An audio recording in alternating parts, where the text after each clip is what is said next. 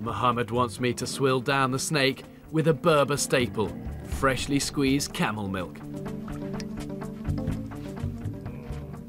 Actually, it's not bad. I thought it was going to be really strong, but it's quite like just nice fresh cow's milk. Might have a bit more. Camel milk is a perfect survival food. Three times richer in vitamin C and ten times more iron than cow's milk. Pesky camel. Thanks for the milk. Merci, Mohammed. All right, get off my ear. Camels are the key to both wealth and desert survival for the Berbers, so finding water is crucial.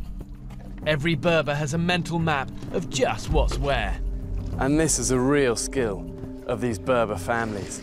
Uh, this knowledge is just passed down from generation to generation of knowing where these wells are in the desert, these underground pockets of water. And it's that knowledge that really means these guys are the ultimate Sahara Desert survivors. For their main source of food, the Berbers rely on goats, and this one is killed using a traditional method.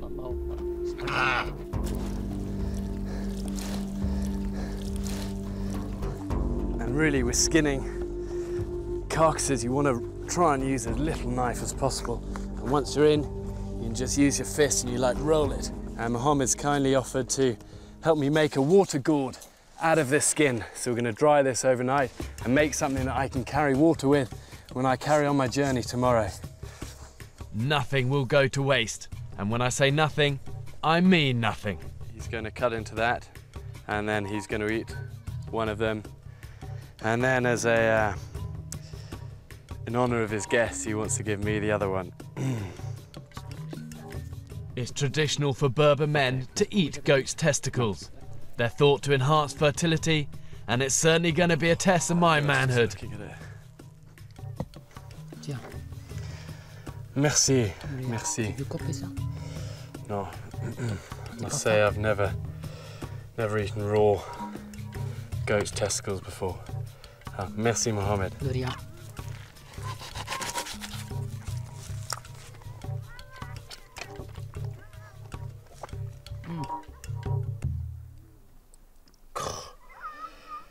Rien.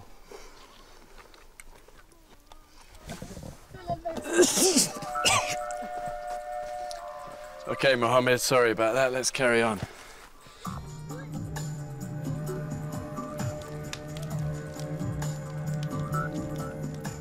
I'm spending the night with the Berbers before venturing back out into the arid desert.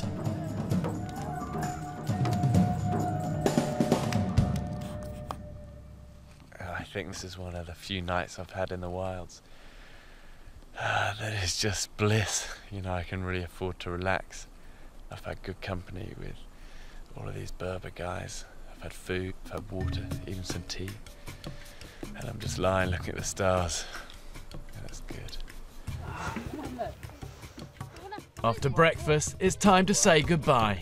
But there's a parting gift from Mohammed. Ah, the water gourd.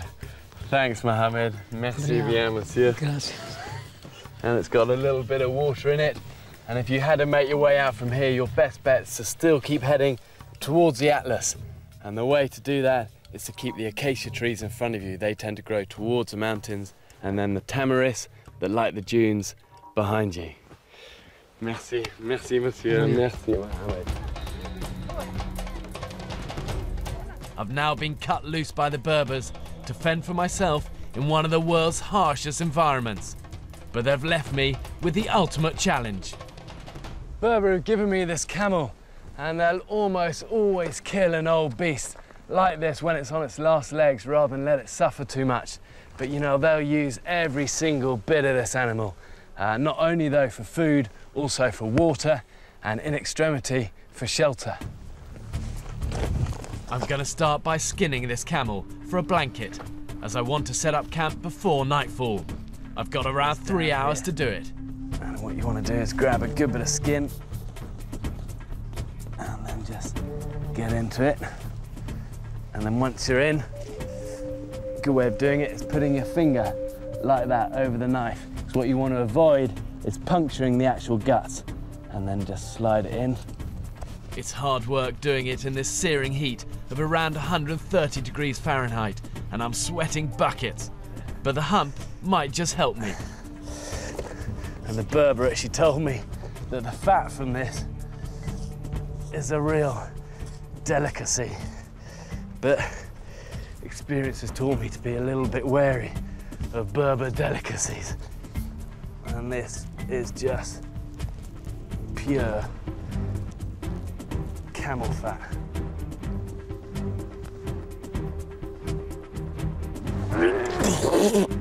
oh man. That's horrible. In extreme situations, the fat from the hump of a living camel will save a Berber's life. They cut a flap of skin in the fatty hump and carefully take out what they want, making sure they leave enough for the camel to survive. What I'm looking for is the stomach. And the stomach itself is in three parts, so it can separate the liquids from the solids. And the bit I want is called the rumen, where it keeps the fluids. There we go. And I'm through to the inners here. And look at that, that's amazing. It's like a reservoir, this rumen water. And a nomad told me once how his uncle in the 1950s was lost in a sandstorm out here. And he actually ended up killing his camel to get at the rumen and all this fluid inside. And that actually saved his life. If you don't find much water in the rumen, you might get some from the main part of the stomach, where the food is digested. God, a load of stench of camel digesting food straight up my nostrils.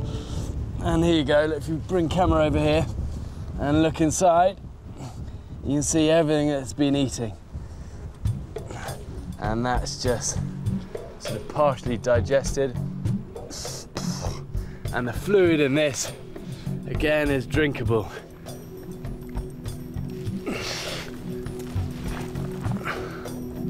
God, that must have hurt when it went down its throat.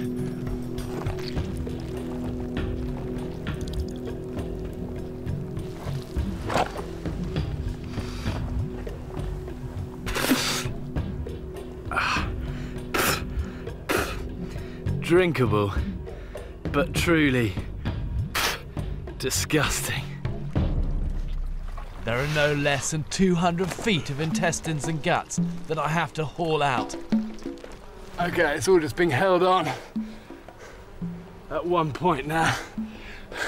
I have to hold my breath, get in there, and cut it. Stings.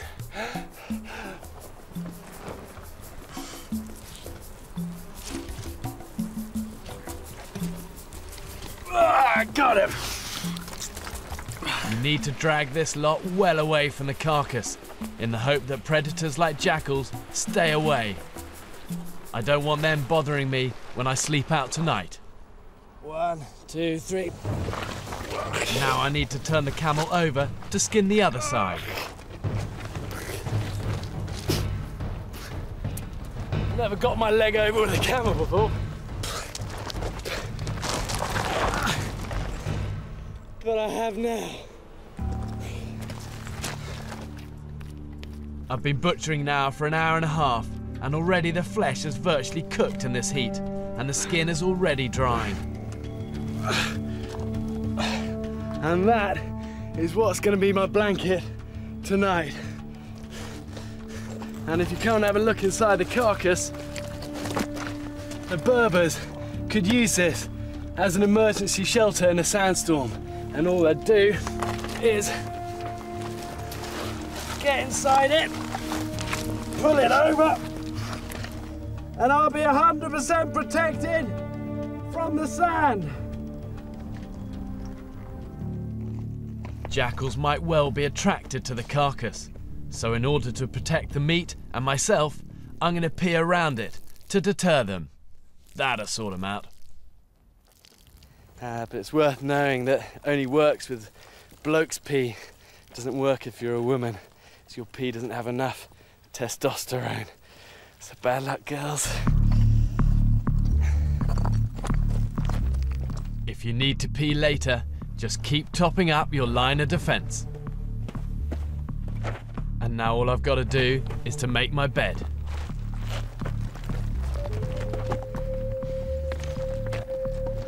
I can then lay this down. Now I've got a pillow, something to keep me off the rocks and keep me warm if I need to.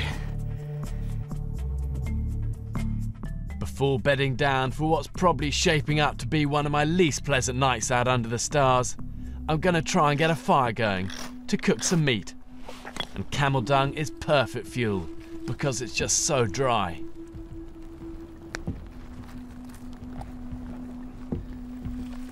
And all of this is just beautiful, fresh meat. And you won't get a better looking steak than that. Flat stone over the fire is the desert version of a barbecue. And keep feeding the camel dung in. Camel meat is low in cholesterol, this and this is a rare desert feast.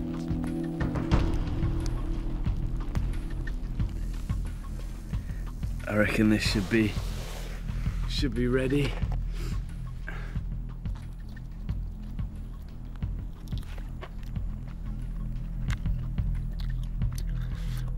Quite an old camel.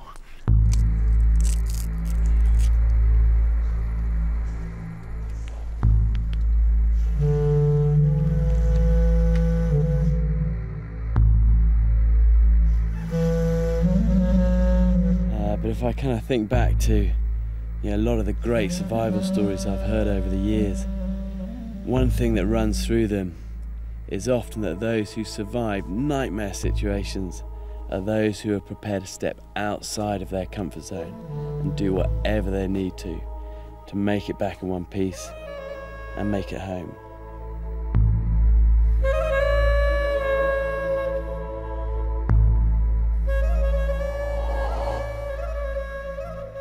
One of the great joys in my life is is taking my wife and two little boys uh, into the wilds camping. But I think it's safe to say this is one camping trip uh, they wouldn't enjoy. You know, I'm sleeping on rocks. I've got a fleshy camel skin as a blanket, and as a pillow, I've got a dead camel's neck. I'd never get this one past the wife.